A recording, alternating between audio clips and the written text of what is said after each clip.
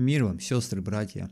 Приветствую вас на блоге Виктора Буслова «Познание», познавая Бога внутри себя. Мы все хотим иметь или имеем свой дом. И в непогоду так хорошо укрыться и чувствовать себя в безопасности, в тепле. Для такого дома нужен хороший крепкий фундамент. Согласны вы, друзья? Или можно прожить и в шалаше?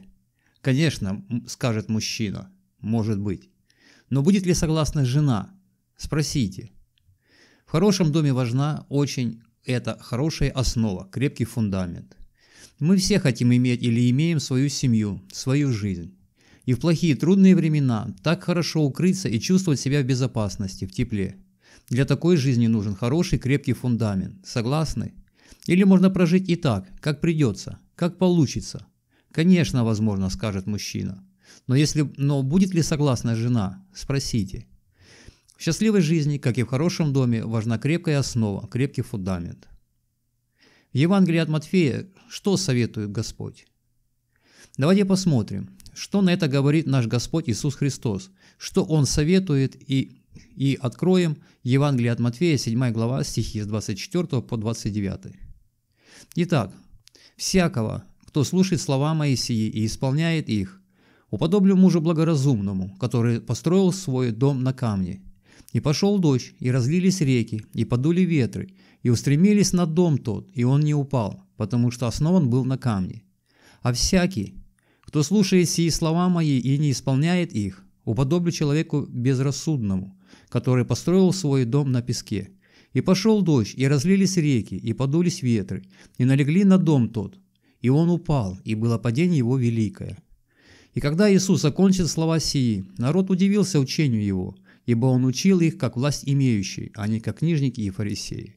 Это Матфея глава, 7 глава, с 24 по 29 стих.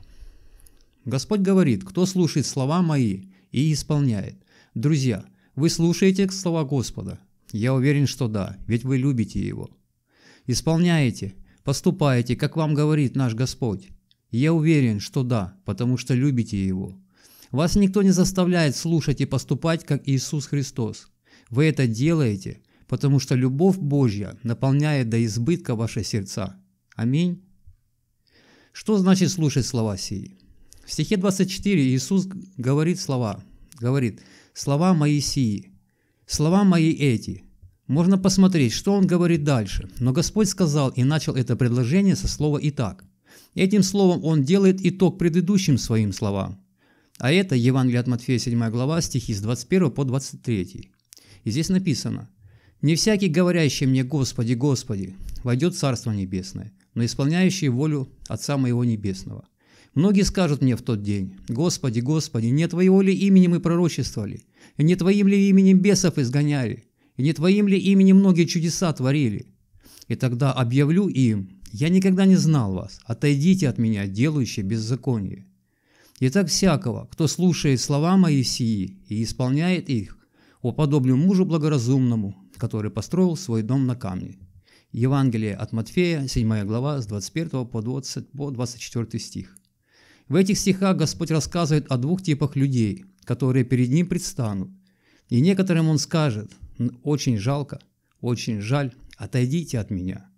Разница в исполнении воли Отца Небесного. Воля и как ее узнать. Давайте рассмотрим поближе, какую, какую волю и как ее узнать. Друзья мои, когда вы пришли к Богу с, с искренней в молитве покаяния, с верой в то, что сделал Иисус Христос для вас и воскрес, Бог принял вас, очистил вас от грехов и оправдал для себя и исполнил, излил, наполнил вас Духом Святым. И с этого момента вы всегда знаете волю Отца Небесного и всегда ее можете узнать, когда возникает такая необходимость. Волю Божью вам откроет Дух Святой. Ведь Дух Святой тоже Бог, это третья личность Бога. Так ведь? Когда вы пришли к Богу, помните, у вас сразу, помните, у вас сразу возникло желание молиться, читать Библию, петь Богу. Помните, вспомните, друзья мои, это все Дух Святой давал вам желание. Он так же близок вам сейчас, как и в момент покаяния. Просто сядьте, успокойтесь и придите к Богу в молитве, и Он будет рядом с вами, с вами, сидеть и слушать вас. И я так, от себя, знаете, друзья, когда молитесь, закройте глаза, успокойтесь. И представляйте, что сейчас рядом в молитве, когда вы молитесь, рядом с вами ваш Господь сидит, смотрит на вас и внимательно слушает. Когда Дух ведет вас. Так вот, когда вы слушаете, что вам Дух Святой говорит, который сейчас с вами и в вас, и вы выполняете все, что Он говорит, тогда вы предстанете перед Господом, и вы войдете в Царство Небесное. И тут есть, друзья, одна тонкость. Бог вас, Бог вас исполнит Духом Святым только тогда, когда молитва покаяния искренняя. Если нет, то можно просить у Бога прощения, но Он не примет эту молитву и Духа Своего не даст. Бог знает все наши намерения и сердца, друзья мои. Бог очень-очень хорошо знает. Когда Дух Святой вам говорит, что делать и ведет вас, это все довольно просто, друзья. Друзья мои, Дух Святой для этого и пришел к нам сейчас на землю помогать людям, вам, мне. Прожить сейчас это время с Его помощью. Он знает, что нам и как трудно.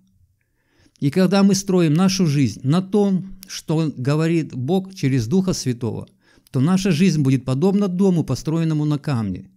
А нас с вами Господь называет муж благоразумный или женщина благоразумная, которая строит свой дом, жизнь, семейный очаг на крепком основании. Развивайте тесные взаимоотношения с Духом Святым. Он ждет вас и хочет участвовать в вашей жизни. А сегодня я заканчиваю. Если вам понравилась запись или вы получили слово откровения от Духа Святого, поставьте лайк. Подписывайтесь, делитесь и передавайте привет братьям и сестрам. Аминь.